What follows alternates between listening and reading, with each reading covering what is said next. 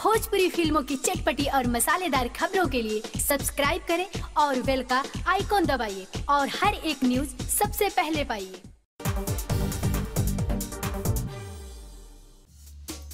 भोजपुरी फ़िल्मों के power star और मधु शर्मा, अभिनीत भोजपुरी मूवी जय हिंद, बिहार और झारखंड के बॉक्स ऑफ़िस पर जिस तरीके से ताबड़तोड़ कमाई करती हुई नज़र आ रही है, वो वाकई में ही काबिलिय तारीफ़ है। जी हाँ बिहार और झारखंड के बॉक्स ऑफ़िस पर शानदार दूसरा सप्ताह प्रवेश कर लिया है। ऐसे में सभी भोजपुरी दर्शक यह जानना चाहते होंगे की फ़िल्म ने पहले सप्ताह कितने का कलेक्शन किया होगा। हालाँकि आपको बता दें की जय हिंद के प्रोड्यूसर या फिर फ़िल्म के डिस्ट्रीब्यूटर की तरफ़ ऐसी अभी तक कोई भी ऑफिशियली डेटा शेयर नहीं किया गया है, लेकिन मीडिया रिपोर्ट की खबर माने तो जिस तरीके ऐसी सिनेमा घरों में हाउसफुल का बोर्ड लगभग पहले सप्ताह दिखा। उससे अंदाज़ा लगाया जा रहा है कि फ़िल्म ने पहले हफ़्ता करीब 45 से 55 लाख रुपए का बिज़नेस किया है। हालाँकि आपको बता दें कि यह ऑफिशियली कलेक्शन नहीं है। दूसरे सप्ताह भी जय हिंद का सिनेमा घरों में ज़बरदस्त हाउसफुल का बोर्ड लगभग दिखाई पड़ रहा है और सभी सिनेमा घरों में भोजपुरी दर्शकों को काफ़ी ज़्यादा फ़िल्म पसंद आ रही है। जय हिंद में पवन सिंह के दमदार डायलॉग पर भोजपुरी दर्शक जमकर सिनेमा घरों में सीटी बजाते हुए नज़र आते हैं। तो वहीं पवन सिंह और मधु शर्मा पर फिल्माया हुआ रोमांटिक तड़का गाना दर्शकों की ज़ुबान पर सर चढ़कर बोल रहा है। तो वहीं आकांक्षा अवस्थी का जोरदार परफॉर्मेंस भोजपुरी दर्शकों को काफ़ी ज़्यादा पसंद आ रहा है। कुल मिला के कहा जाए तो जय हिंद में वो सभी मसाला मौजूद है जो भोजपुरी दर्शकों को पसंद आती है। ऐसे में अगर आप लोगों ने अभी तक फ़िल्म को नहीं देखा है तो आप अपने नजदीकी थिएटर में जाकर